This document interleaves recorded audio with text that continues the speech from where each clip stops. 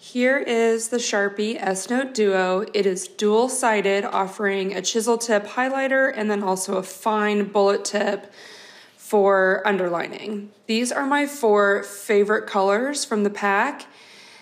I, but most importantly for us planners is whether or not it smears. So the first test I do is with a Prisma fine line marker. It's an art marker and I show how it doesn't smear by just my finger, but then look at this no smearing with the S Note Duo. Next up is the Sharpie S Gel, which is Sharpie's gel pen, and I use the 0.7 tip.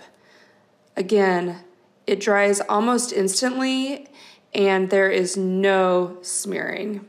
These are awesome and they are a great addition to any planner pen collection.